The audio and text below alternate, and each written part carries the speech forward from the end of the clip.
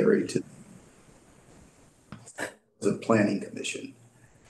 Uh, Our second item agenda is public comment, and we are taking public comment at this time on items that are not on the agenda. If there are members of the public here who wish to speak on any items which are not on the agenda, uh, will they raise their hands and make themselves known at this time?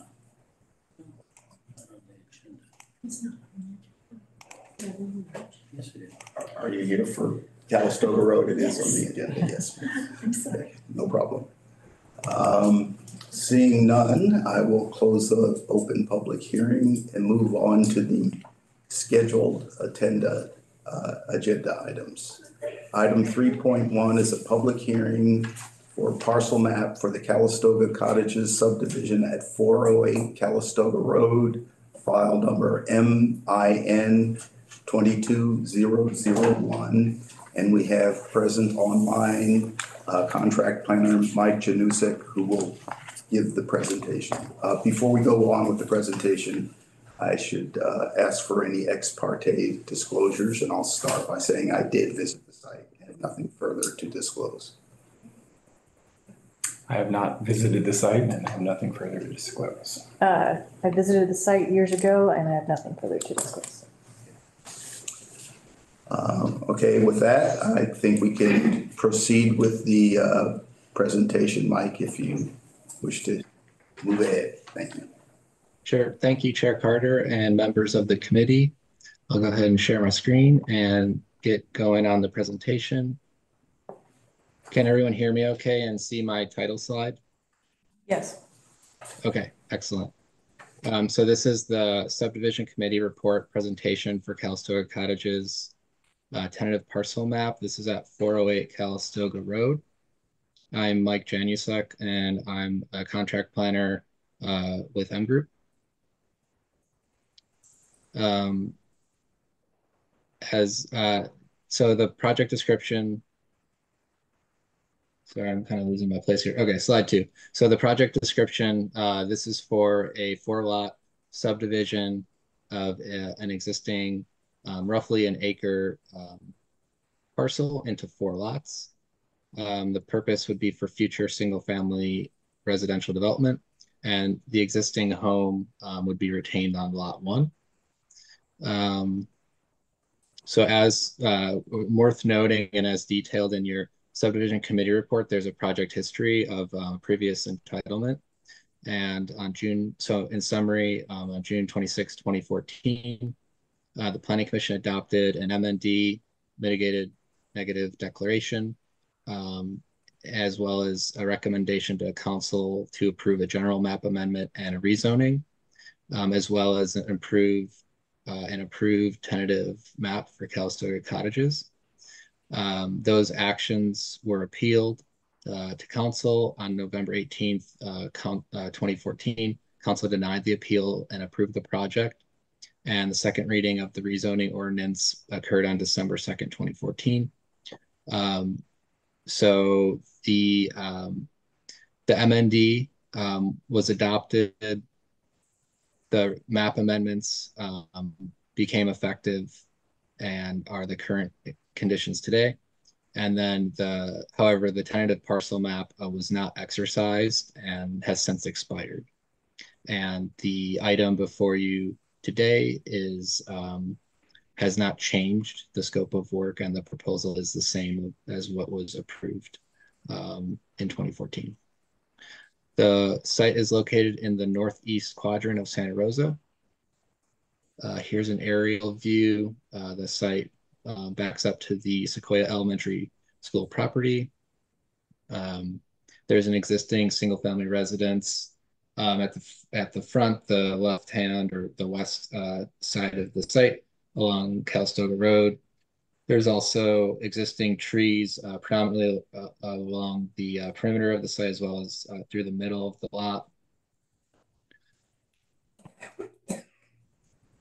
And here is the general plan um, designation and the zoning.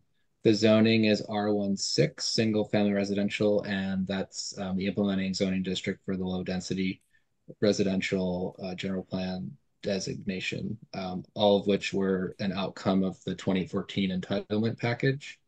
Um, surrounding the project is uh, more low low density residential R16 to the west, uh, very low density um, RR20 to the north and east, and um, public institutional RR40 uh, designation and zoning to the south.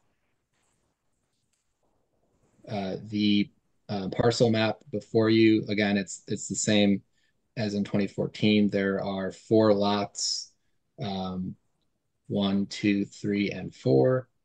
They range from approximately 8,000 square feet to 13,500 square feet. Um, there's also a 24 foot uh, wide driveway at the top of the screen uh, along the northern property line, um, and a, as well as um, um, a, a hammerhead um, configuration to uh, lots three and four that would uh, allow for fire turnaround. Uh, here are the lot sizes, and that meets the um, the minimum 6,000 square foot lot size of the R16, um, and then the proposed density um, would be a little over four units per acre, which um, is consistent with the the maximum allowed under the uh, the low density designation. Um, excuse that that should not say add slide, but this is an additional slide than what was in the the packet um, because there were uh, four um, public comments um, received uh, prior to the meeting. Um, a couple of them were after were provided as late correspondence, um, hence the the note to myself. Um, but uh, the topics range from um, traffic related to apartment development, wildfire risk, and tree preservation. Uh, multifamily dwellings are not a principally principally permitted use in the R16, um, and there's no proposed development at this time. Um, the intent is for um, single family residential development at a later date. Um, and then as far as tree preservation, that topic, um, there's information in your packet in attachment six is the um, the mitigation measure and uh, monitoring reporting program, and that's from the adopted MND and mitigation measure um, 4A uh, pertains to uh, tree protection. Um, there's also an arborist response letter um, to public comments related to tree preservation in your packet. Uh, as I've as I've mentioned, there's a previously adopted MND, and the um, the project was fully analyzed um, by the previously adopted MND, uh, which was um, adopted by resolution number 11 uh, 11676 in 2014. And there's no, um, there's been no changes to environmental conditions on site, and there's uh, there's no changes in in uh, the scope of work. Um, and with that, the Planning and Economic Development Department recommends that the subdivision committee grant approval of the Calistoga Cottages minor subdivision. Um, thank you for your, uh, your attention and happy to answer questions. And the uh, the applicant has representatives um, in person. Okay, do we have any uh, questions from the staff, from the committee for, for John or for Mike? Sorry. No question. See. Okay, um, then we'll have, we'll open the public comment period on this item. Um, and, uh, Crystal, can you? Of course. Rules for us? Um, if uh, you are in person and wish to make a comment, please raise your hand. I'll call on you and then I'll ask for you to state your name for the record. Um, you'll have three minutes to comment and I'll have a timer on the screen for you guys uh, that'll alert you when your three minutes are up. Okay. Uh, let me get to my screen.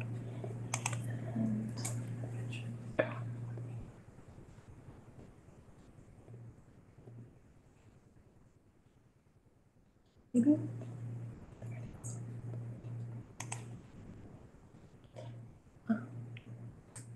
Okay, uh, let me.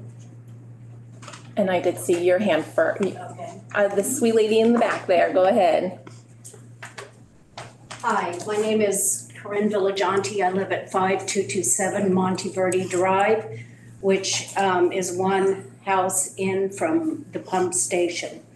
Uh, I, we see all the traffic on Calistoga Road when uh, the morning school traffic comes and the afternoon pickup. It is really difficult to turn right or left on Calistoga Road.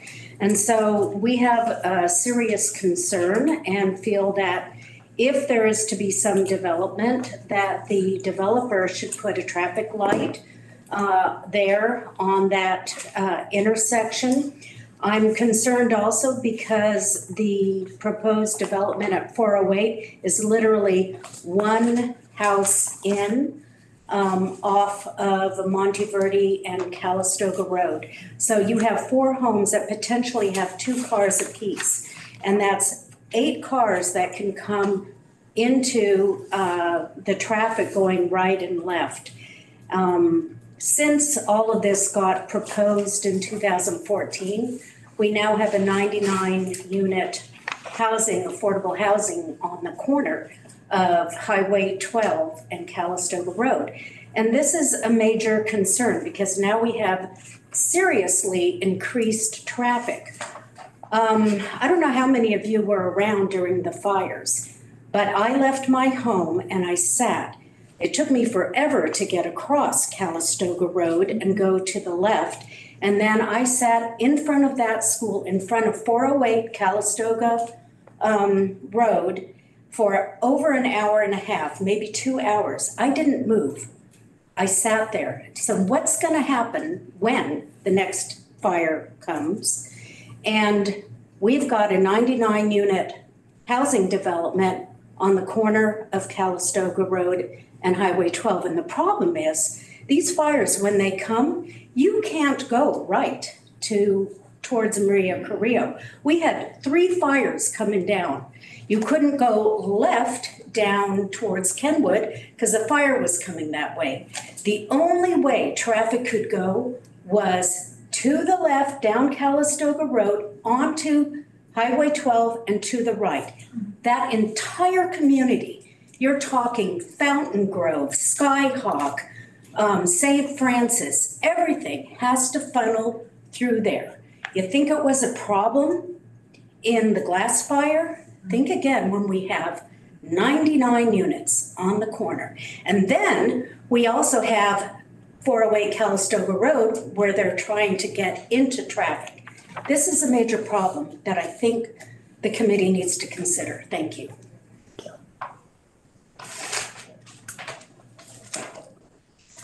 Would you like to go next? My name is Karen Grandal, and um, I live in 5220 Monteverde, so I'm right next to this lot that's going to be developed.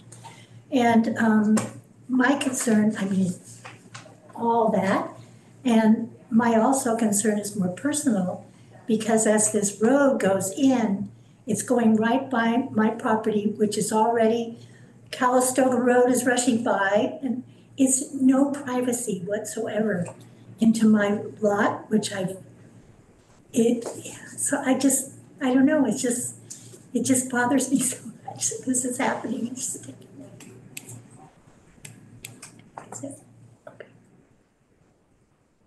Do we have any other comments?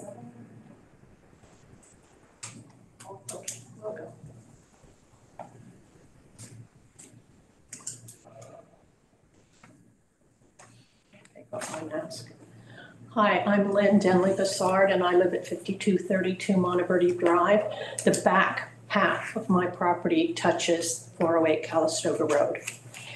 Um, During the glass fire, that whole area was an ember zone for the fire going across behind St. Francis. And that ember zone means that there are four-inch pieces of wood flying through the air at 40 miles an hour, heading for all the homes a mile away.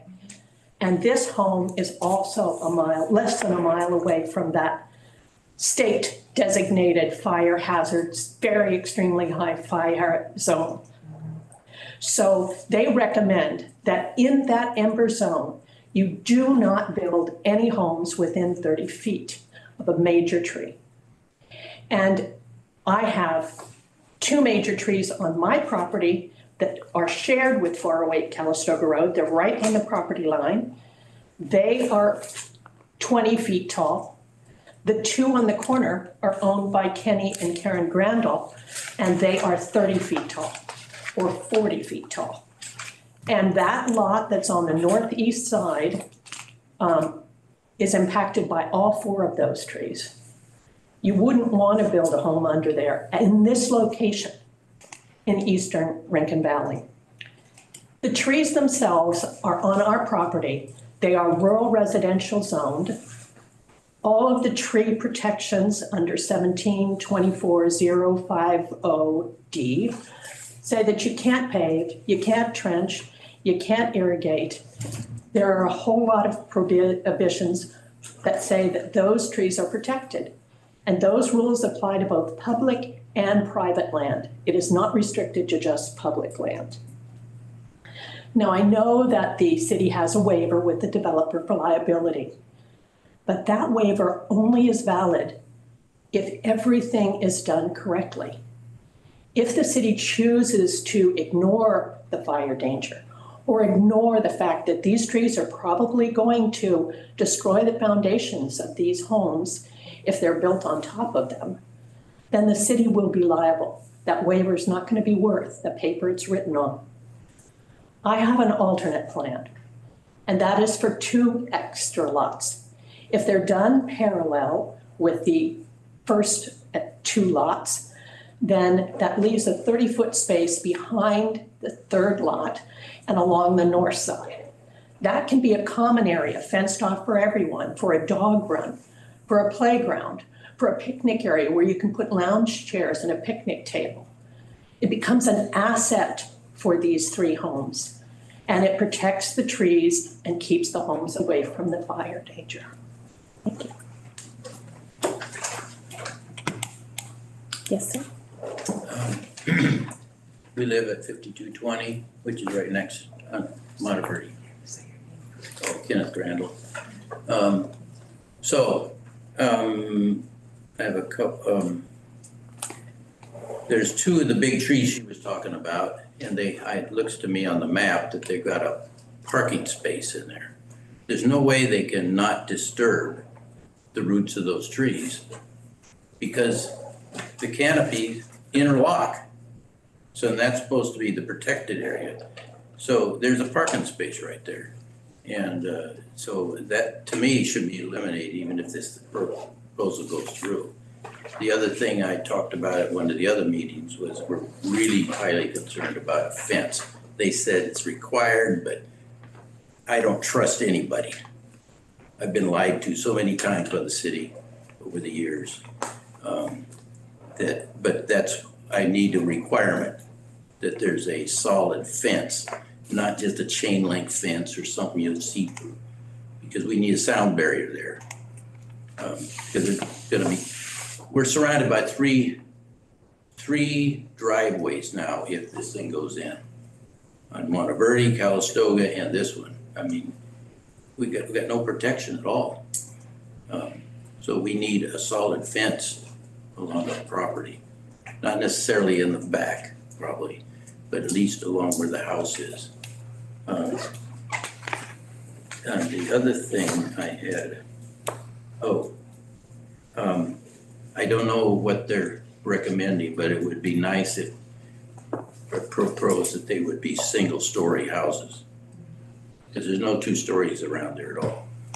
And it would be really obtrusive on the people right next to it to have a two-story house there, looking down on our property. Basically all I have. Thank you. Yes.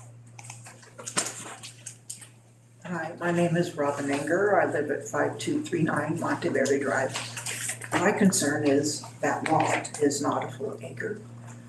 That lot, if you have a fire and have have a fire truck going around, how are they gonna maneuver with four houses in there? That's a big concern, because the glass fire, I thought our house was gonna go, it was so close. So it's very scary, and then you have three other schools uh, north, and you have school next there, and then you have all those apartments going in, you have the community, and there's a lot of traffic. So it's, it's really concerning for all of us. So, thank you. Do we have anyone else? Looks like we have all of our commenters. All right. Well, if that's all of the public comment, I'll close the public hearing. Uh, do we have a representative of the applicant here today? Um, can we ask you to give a brief description of your project and perhaps respond to some of the design questions your neighbors have? I will. Um, My name is Charlie Trabulsi. I'm a civil engineer on the project. Um, Some issues I can uh, address and let you know what we were able to uh, work out. Uh, So let's start with the ones we can uh, work on. Uh, Privacy fencing, I think we talked maybe a year or two ago. Right.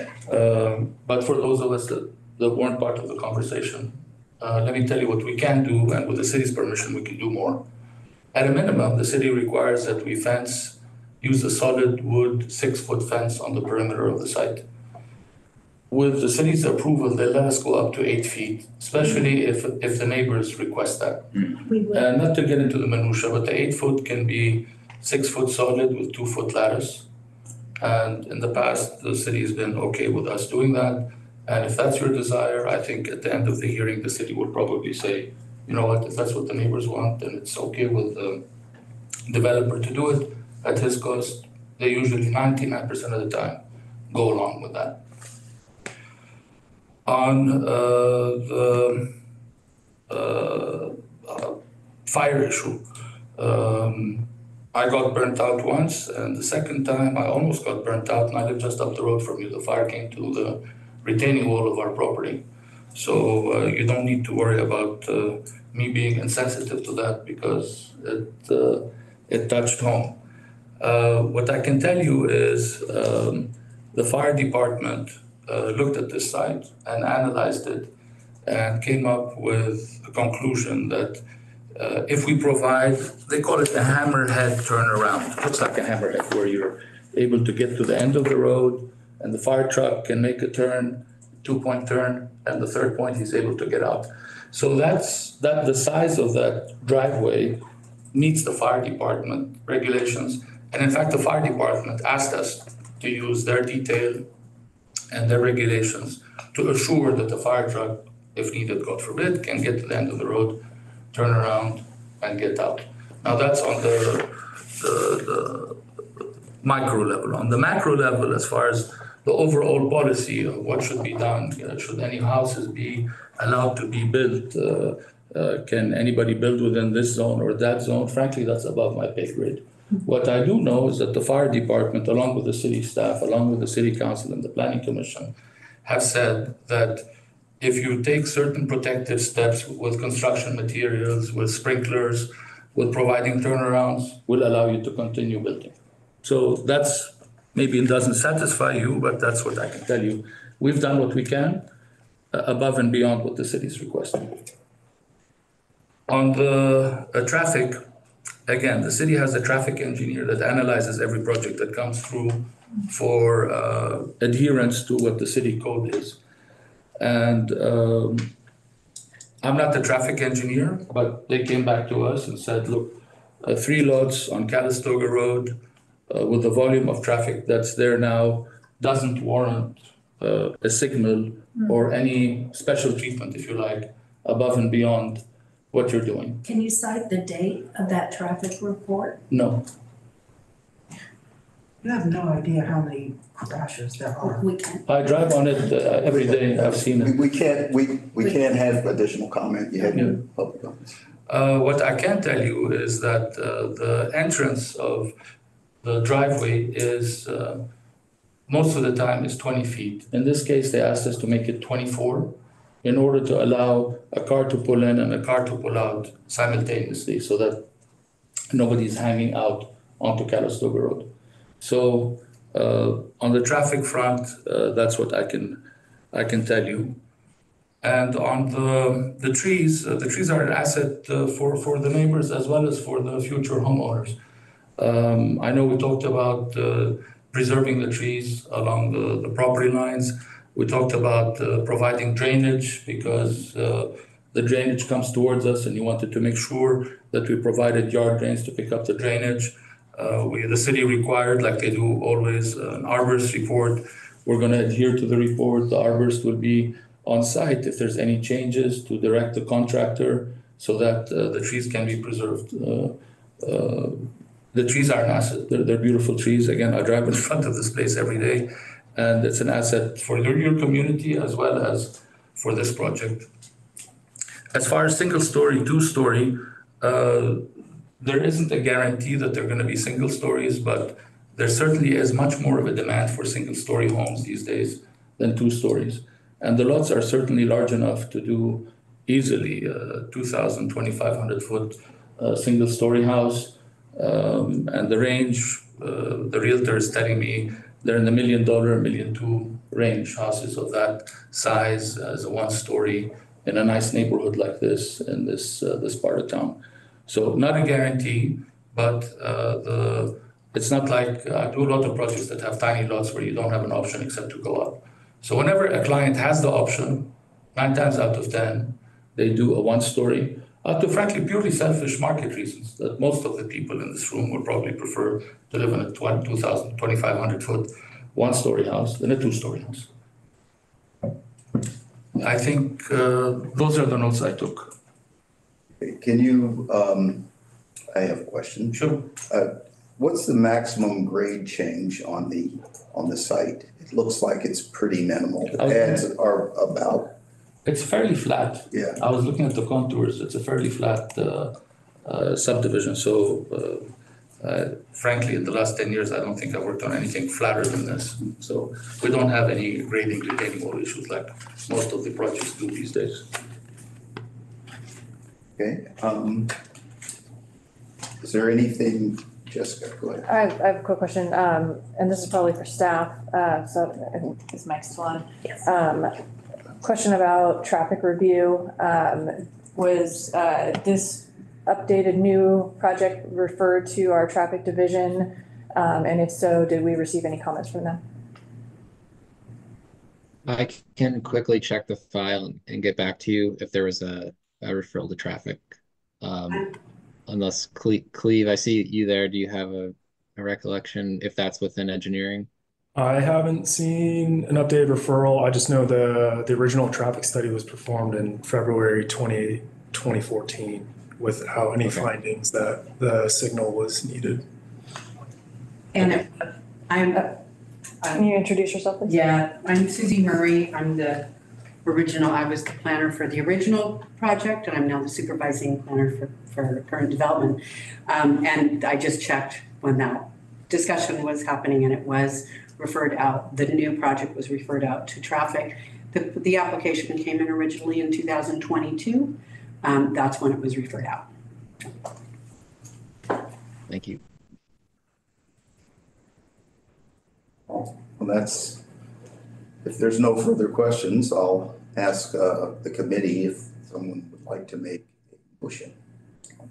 I do have a further question before we go. Um, and I think maybe just a bit more an explanation from staff on how traffic studies are generated and what they look at in the future. Uh, because they do look at future build out of the area. So addressing the concern about the fact that there are ninety-nine apartment units there that likely came after the traffic study was performed. Um, can we talk a little bit about how those studies account for future traffic impacts? So the current traffic study that was performed would take into account the trip generation and then access to the site, but then any new development would trigger a new traffic study, updating it based off how many units are going in, how many cars are hitting the road. Um, and then that updated traffic study would make findings, whether or not improvements need to be made at the intersections, roadways need to be widened, um, any other improvements uh, would be based off those updated findings on whatever new proposal comes in. And the- this is something that's provided by the traffic engineering, city. The, the private developer hires their own consultant, traffic engineer, they perform the study. That gets referred out to our in-house city traffic engineer who reviews the study. If any figures need to be updated to current values. That would have been the study on the two fourteen MND, right? So for this particular iteration, it was determined that that study was still appropriate and adequate at this time. I'd have to look at what our traffic engineer responded with um, from that, the most current referral. Um, I don't have that handy on me, but I could try to find it unless Susie has it I'm ready. looking frantically over here. And then I think specifically the question as the traffic study went through in two thousand fourteen, when it analyzed the site on the corner, it accounted for the, the densities and the build out of that site through that traffic study. I mean, it may very well be a question for the applicant too, uh, but that is typically how traffic studies work. They, they look at the future of vacant lots and then they're making assumptions about unit build out. So it becomes more of a maximum. So they look at a worst case scenario. They look at the general plan in the neighborhood and project what's going to be coming in the next one, five, ten years. As a footnote, and Gabe, maybe you can confirm this, it's extremely rare for the city to require a traffic study for, for projects that are less than fifty units. I understand. Uh, so just to give you a sense of perspective. Uh, but PS, uh, before I forget, uh, to make it official, uh, we'd like to propose, uh, the eight-foot fence, six-foot with the two-foot lattice if it's possible. When it comes time, uh, to add or amend conditions, we'd appreciate that. Well, there is a condition requiring that the landscape plans be submitted. That's where that would show up, so. Correct, correct. Any further questions, comments? Anyone want to make a motion? I can make a motion. Um, so I would move to approve the Calistoga Cottages uh, minor subdivision. Uh, wait for the reading. Um, actually, I would, I would like to add a condition. I know we've got the condition there about landscape plans, but I think with the, the applicant seems willing um, and to address the concerns that were raised about privacy, uh, to add a condition of adding a perimeter fence uh, six foot solid with two feet of lattice. Okay. Um, any, a second to that motion? I second. And, uh, any discussion? I, I, I will say that, um, you know, appreciate the neighbors' concerns about, uh, development in the air, in what was once a rural area, but I, I believe the project is, it's certainly compatible with the regulations we have to evaluate the project. It's compatible with the general plan and the zoning. It meets our engineering requirements and with uh, submittal and review of the landscape plans of the best practices for fire prevention. And the design of the driveways have been taken in, have taken into account emergency access. I see no, nothing, and nothing has changed since the previous approval, so I will be supporting the project. So Crystal, if you call for the vote. Thank you. Uh, Committee Member Jones, Uh, yes. Committee Member Osborne, Aye. Chair Carter. Yes. Let the record reflect that we have all ayes. So this, uh, this uh, minor subdivision is approved. Uh, The resolution passes with three ayes. Um, Any actions of this committee are appealable to the planning commission. And um, this action is final unless an appeal is filed to the city clerk's office within ten calendar days of today's decision. And we are adjourned. Thank you. Get you a gavel. Yeah, little form.